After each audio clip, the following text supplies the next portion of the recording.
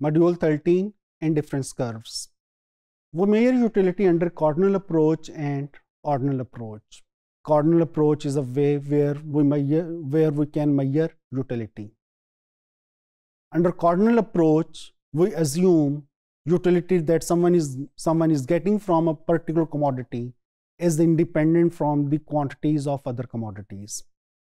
But in reality, consumption utility that someone is getting from a particular commodity is also depends upon the level of quantities of other commodities. For example, usage of loaf without butter will give you a certain level of satisfaction. But when we use loaf with butter, then there is some change in level of satisfaction that someone is getting from the consumption of loaf.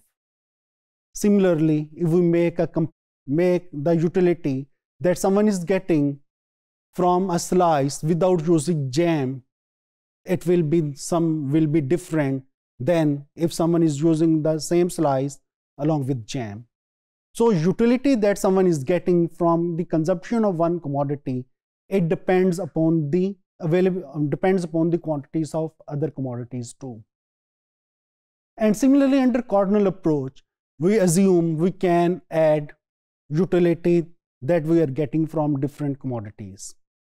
And the utility that we are getting from different commodities are independent from the quantities of other commodities. And these are, this is an unreasonable approach to measure the utility. While under ordinal approach, we assume consumer is getting satisfaction from a consumption bundle. And that consumption bundle usually includes a large number of goods and services. And the utility that someone is getting from a particular commodity, it depends upon the quantity of other commodities too. Under ordinal approach, we are also in a position to rank different to rank the level of satisfaction against different consumption bundles.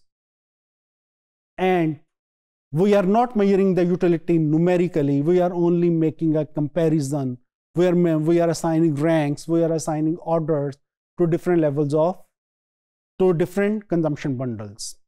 So for example, again, if we are considering the example of apples and oranges, yeah, consumer is using apple and oranges to get satisfaction against different combinations of apples and oranges, he will get a certain level of satisfaction. But against those different com combination of apples and oranges, we are in a position only to rank orders to different consumption bundles. We are not in a position to say because someone is getting 25 utils of utility against this particular combination of apples and oranges and 50 units utils of utility against another combination of apples and oranges.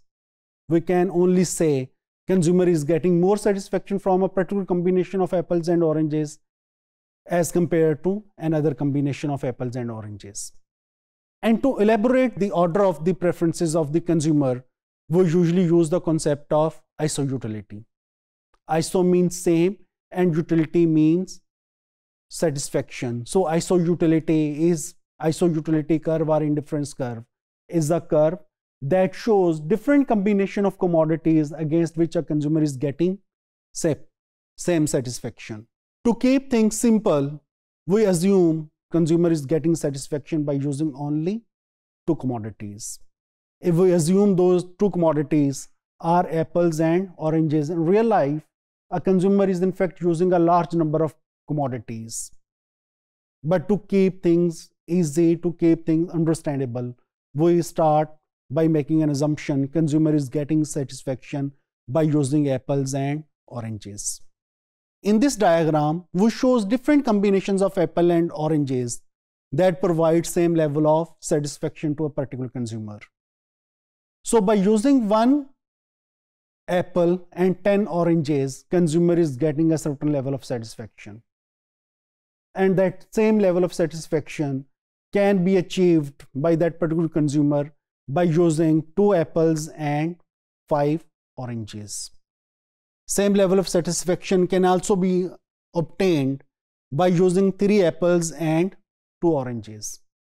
So again, different combination of two commodities that provide same level of satisfaction if we repre represent those things graphically we use a curve to which we called as isoutility curve or indifference curve whenever we make study about the indifference curve again we start we start we formulate certain assumptions first of all under the theory of the preferences we assume consumer can assign rank to all the consumption bundles that are available for consumption.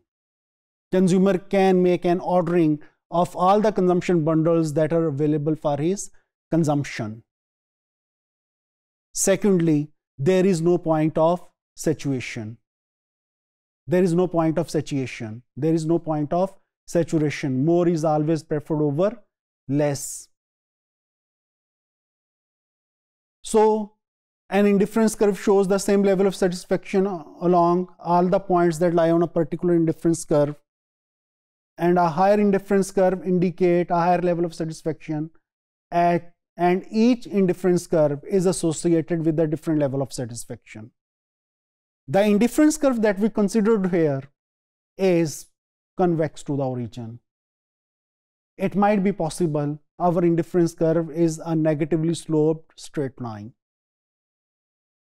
it might be possible our indifference curve are right angled curve depending upon the nature of the commodities. If indifference curves are right angled curve, then the two commodities that are under consideration for consumption are perfect complement. And if we consider two commodities are perfect substitutes, then our indifference curve is a negatively sloped straight line. But when we assume consumer preferences are well-behaved preferences, then our indifference curve is convex to the origin and more is always preferred over less. As we have, as I have already mentioned,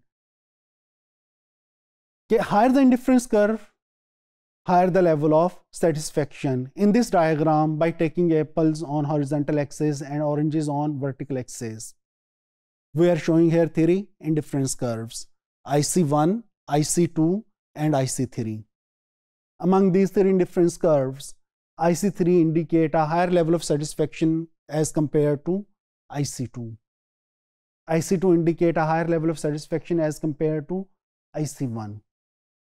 But along each indifference curve, level of satisfaction of the consumer is constant. There is no change in level of satisfaction along a particular indifference curve.